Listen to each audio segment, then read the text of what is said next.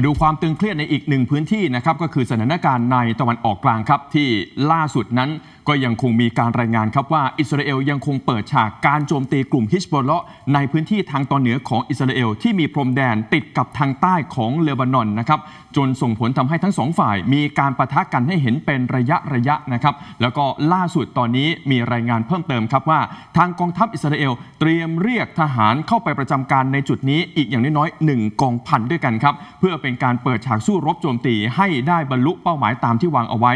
ส่วนความเห็นออกมาจากทางด้านผู้นำสูงสุดของอิหร่านครับเกี่ยวกับกรณีการเสียชีวิตของยายาซินวา ผู้นำสูงสุดของกลุ่มฮามาสครับมองว่าจะไม่สามารถหยุดยั้งการสู้รบของกลุ่มฮามาสได้ และฮามาสจะไม่มีวันตายครับ นอกจากนั้นทางฝั่งอิสราเอลได้มีการเผยแพร่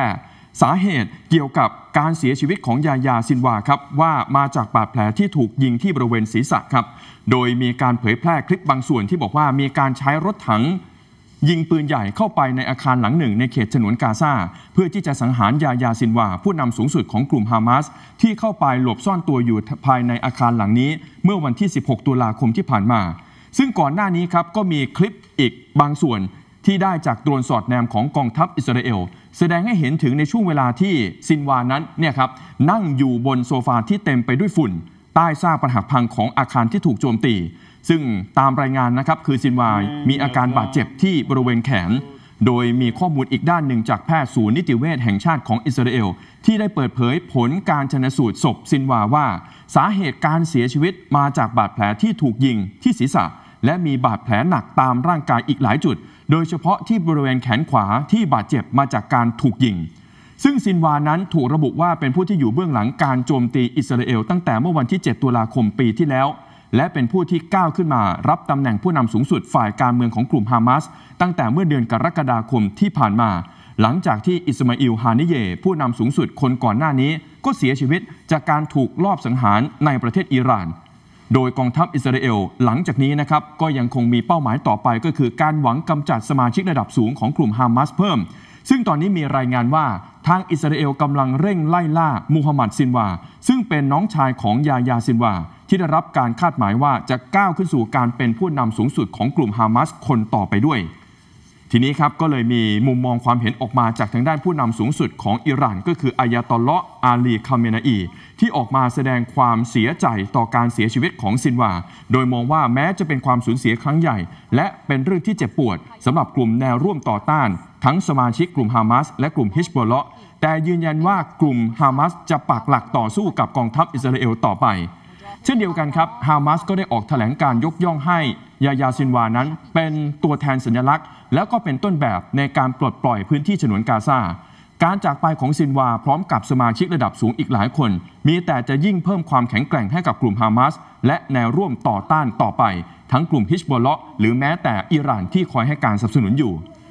ซึ่งถ้าหากว่าไปดูสถานการณ์ในพื้นที่ฉนวนกาซาณเวลานี้ครับทางกองทัพอิสราเอลก็ยังคงโอบล้อมโจมตีในพื้นที่ทางตอนเหนือ และโจมตีเข้าใส่พื้นที่ค่ายผู้ลี้ภัยจาบาเลีย ซึ่งจุดนี้ถือว่าเป็นค่ายผู้ลี้ภัยที่ใหญ่ที่สุดในเขตกาซาส่งผลทำให้การโจมตีรอบล่าสุด มีผู้เสียชีวิตไปอีก 33 คน บาดเจ็บเพิ่ม 85 คน และยังมีการโจมตีทางอากาศเข้าใส่อีกจุดหนึ่ง ก็คือที่บริเวณค่ายผู้ลี้ภัยมากาซี ซึ่งตั้งอยู่ที่เมืองเดอีอัลบาลา ทางตอนกลางของฉนวนกาซา มีรายงานผู้เสียชีวิตในจุดนี้ไปอีก 11 คน ส่งผลทำให้ยอดรวมผู้เสียชีวิตในกาซาทั้งหมดนับตั้งแต่เมื่อเดือนตุลาคมปีที่แล้ว ผ่านมา 1 ปีเต็มแล้วนะครับ เพิ่มขึ้นมาเป็นอย่างน้อย 42,500 คน ขณะที่ผู้ที่ได้รับบาดเจ็บอยู่ที่เกือบเกือบ1 0 0 0 0 0 คน ล่าสุดครับ อิสราเอลเตรียมประกาศให้พื้นที่ตอนเหนือของฉนวนกาซากลายเป็นเขตทหารอย่างเต็มรูปแบบ ซึ่งเท่ากับว่าจะเป็นการปิดผนึก พื้นที่ทั้งกาซาเหนือ ให้ตัดขาดออกจากพื้นที่อื่นๆ อย่างสิ้นเชิง เพื่อเป็นการโดดเดี่ยว 3 เมืองในเขตกาซาเหนืออย่างชัดเจน ได้แก่เมืองจาบาเลีย เมืองเบอิดฮานูน แล้วก็ที่เมืองเบอิดลาฮิยา โดยเป็นการตัดทั้ง เรื่องของพื้นที่การเชื่อมต่อ และตัดการติดต่อสื่อสาร และสัญญาณอินเทอร์เน็ต ซึ่งแน่นอนว่าสิ่งที่ตามมาก็คือจะส่งผลกระทบต่อแนวทางปฏิบัติการช่วยเหลือและกู้ภัย ในพื้นที่ 3 เมืองนี้ทันที และห้ามการเคลื่อนย้ายอพยพออกจากทั้ง 3 เมือง ยกเว้นแต่ครอบครัวชาวปาเลสไตน์บางส่วน ที่เชื่อฟังคำสั่งอพยพของทางการอิสราเอลก่อนหน้านี้ เท่านั้นที่จะสามารถเคลื่อนย้ายออกจากเมืองได้ ส่วนอีกจุดหนึ่งครับนอกเหนือจากในเขตกาซาตอนนี้ความตึงเครียดยังเกิดขึ้นแถวแถวทางตอนเหนือของอิสราเอลในฝั่งที่ติดกับเลบานอน ล่าสุดครับมีรายงานว่ากองทัพอิสราเอลได้เรียกระดมทหารกองหนุนเพิ่มขึ้นมาประจำการในจุดนี้อีกประมาณ 1 กองพันโดยอิสราเอลยังคงใช้วิธีการโจมตีทางอากาศเข้าใส่ในพื้นที่ทางตอนใต้ของเลบานอน และทำให้มีเสียงสัญญาณเตือนภัยดังขึ้นตลอดทั้งวันครับ เพื่อเป็นการโจมตีกลุ่มฮิชบอลเลาะห์ที่ยังคงปักหลักอยู่ในพื้นที่ หนึ่งในนั้นที่ทางอิสราเอลใช้วิธีการโจมตีทางอากาศก็คือ เมืองจูนิเย ที่อยู่ทางตอนเหนือของกรุงเบรุตส่งผลทำให้มีผู้เสียชีวิตเพิ่มไปอีก 2 คน โดยจุดนี้ถือว่าเป็นการโจมตีเป็นครั้งแรก นับตั้งแต่อิสราเอลกับกลุ่มติดอาวุธฮิชบอลเลาะเปิดฉากโจมตีใส่กันตั้งแต่เมื่อปีก่อน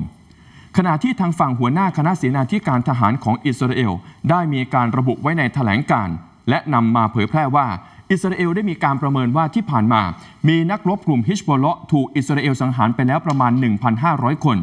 แล้วก็มีความเสียหายกระทบกับการบังคับบัญชาทั้งหมดของกลุ่มนี้ด้วย โดยทางอิสราเอลเชื่อว่าจำนวนผู้เสียชีวิตที่มีการรายงานตัวเลขออกมาที่ 1,500 คน ยังถือว่าน้อยไป เพราะยังมีกลุ่มนักรบฮิชบอลเลาะอีกจำนวนมาก ที่ยังไม่ทราบจำนวนที่แท้จริง จากการโจมตีทางอากาศของกองทัพอิสราเอลในช่วงหลายครั้งที่ผ่านมาครับ ขอบคุณสำหรับการติดตามรับชมในทีเด็นข่าวค่ำนะครับ อย่าลืมครับ ถ้าหากว่าไม่อยากจะพลาดการติดตาม กดไลค์กดแชร์ กด Subscribe แล้วก็กดที่รูปกระดิ่งนะครับ เพราะว่ายังมีคลิปที่น่าสนใจ รอให้ติดตามอยู่ในข่าวทีเด็นครับ